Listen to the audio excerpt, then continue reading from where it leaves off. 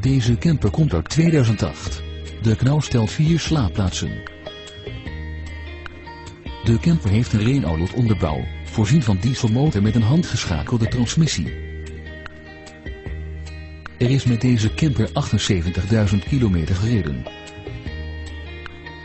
De totale lengte bedraagt 5,50 meter, het gewicht is 2748 kilo en het maximaal toelaatbare gewicht 3500 kilo.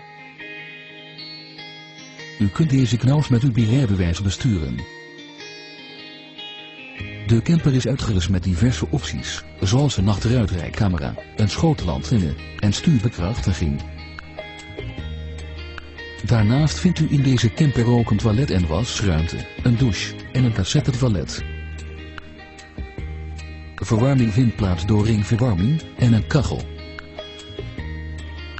Heeft u belangstelling voor deze camper? Bezoek dan onze showroom of neem contact op met een van onze medewerkers.